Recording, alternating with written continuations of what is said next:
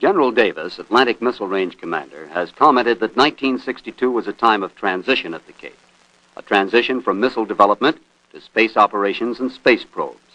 There was a significant increase in the number of launches to place satellites into orbit and to send instrument packages to the far reaches of space. A practical application of space is its use in weather forecasting.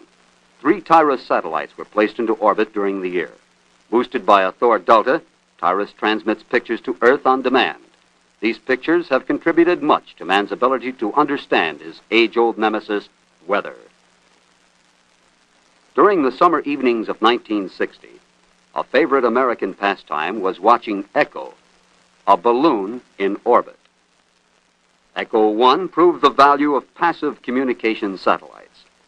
And in 1962, the National Aeronautics and Space Administration achieved a significant breakthrough in Project Big Shot. A 13 story high polyethylene balloon, paper thin, was folded carefully in the nose cone of a Thor Delta. Observers at the Cape watched the package hurtle over 900 miles into space, still sparkling at apogee like a new star. Cameras and television transmitters aboard the booster recorded the successful deployment of the balloon, following it down to the Earth's atmosphere where it burned. Satisfied with test results, NASA engineers looked to an early orbital flight for the big balloon.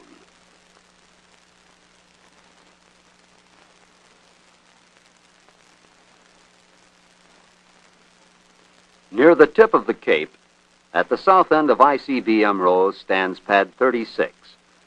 Its bright orange gantry higher and shaped differently than the adjacent Atlas towers. It's the launch complex for NASA's Centaur, a 107 foot tall hybrid rocket, boosted by an Atlas and further powered by a second stage liquid hydrogen engine.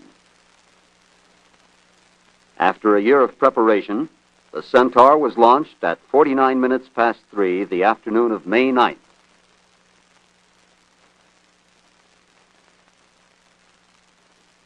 From these pictures, the experts learned the reason for the failure. A metal surface between the stages buckled under aerodynamic pressure.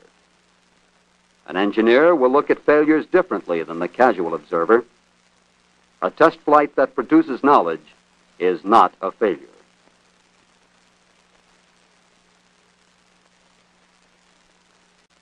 The scientific community has learned to look to space for some of the answers to problems about the Earth.